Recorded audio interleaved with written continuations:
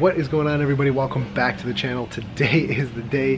Very, very exciting. We are going to finish up and put the fender flares on my Wrangler from Road Armor. So if you guys remember, I had the chair sitting up over here and we were showing the difference between my new Road Armor fender and the stock fender flares. So if you remember, we had a problem with the clear coat in the last video. So Julio's over there, he's finishing up the final touches on that one. While he's doing that, I'm gonna install the rear fenders uh, and then start installing the front driver fender with the inner fender liner. So I'm very, very excited to get started on this. So let's stop talking and start installing.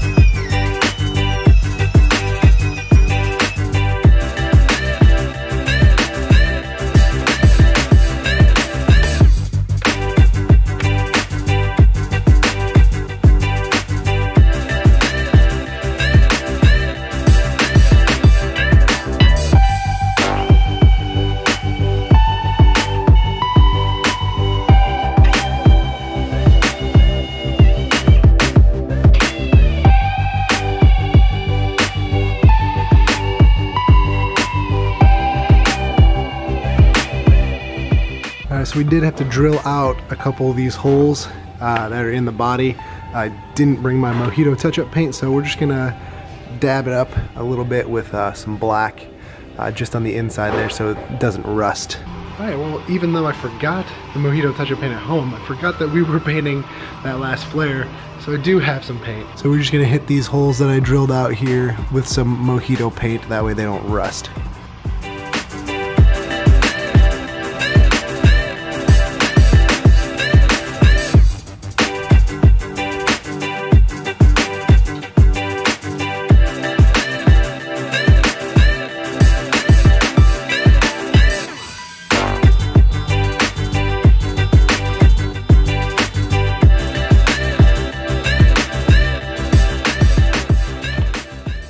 Okay, so we just finished up the driver side rear fender, but here's the passenger side. Stock fender, a little rounded.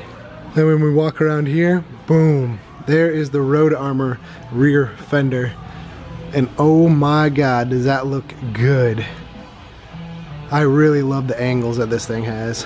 All in all, the mount, it mounted pretty easy. Uh, you guys can see the bolts right here. Uh, and there's two carriage bolts uh, in the back there. Uh, there is a Road Armor rear fender liner, but I didn't go with that just yet uh, because you do have the option of using the factory fender liner. So uh, forewarning, I did have to cut the inner fender liner uh, for for the rear flares. So uh, if anybody is interested, uh, just know that I did have to cut the back side of this uh, plastic off, which is fine because I think you should be able to just pop that off. Yeah, these, these rivets here. Should be able to just pop that off and use your uh, factory like lower molding there. Uh, the rear fender took me a little bit longer because uh, I haven't installed those ones yet. Uh, I have installed the Road Armor front fenders on another Jeep and they install much easier uh, than the back. Uh, not to say that the back is hard, just took a little bit more uh, tools and stuff like that. But we are going to move on to the driver side front fender.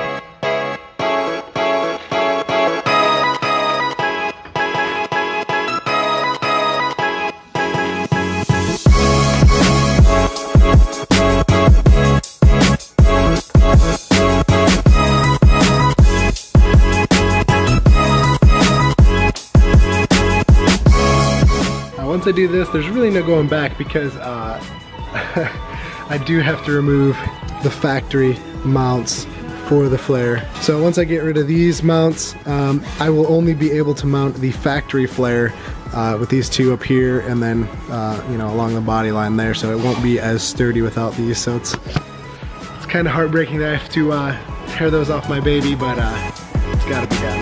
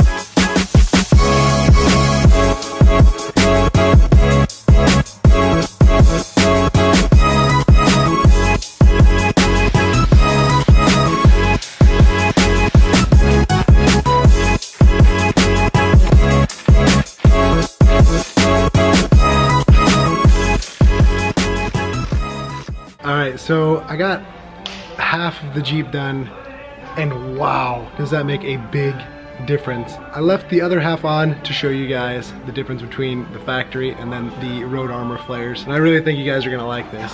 Here we go on the back, factory, rear flare, factory, front flare.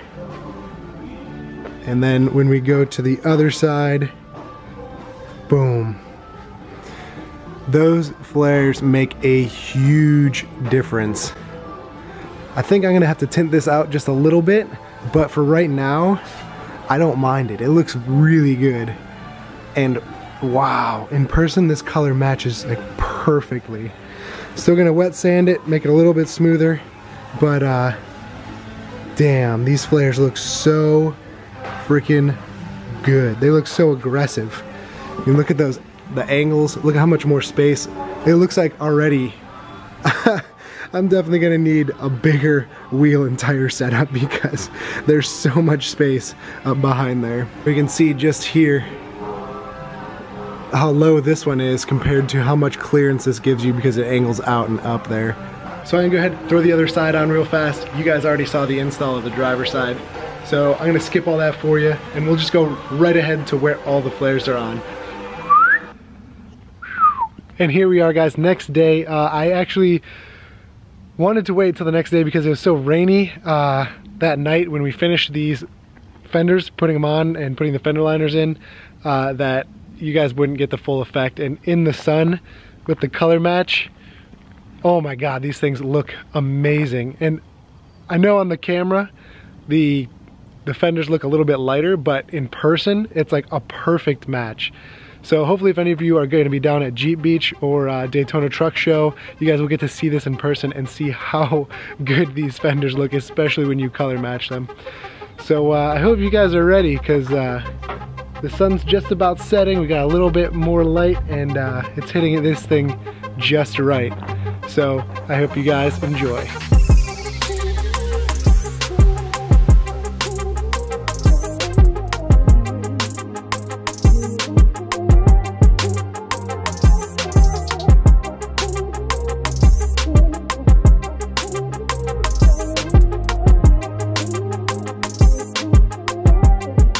So there you go guys, there is what we have all been waiting for. Uh, I know it has been painstaking for me. Uh, I know Ryan was was kind of itching to put these on as well because he really wanted to see them with the color match. But you can see they turned out so amazing, especially with those inner fender liners as well. Uh, you have this extra piece here uh, in the back it bolts up. You can actually paint this uh, it's just a steel plate. Paint this whatever color you want.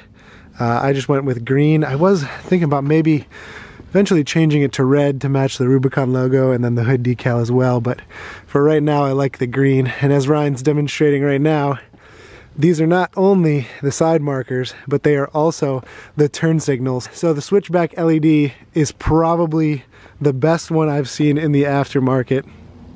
Uh, everybody else looks like they're going with just like this little tiny circle dot LED that kind of sticks up in here, but this one looks the closest to the factory uh, LED that comes straight across here.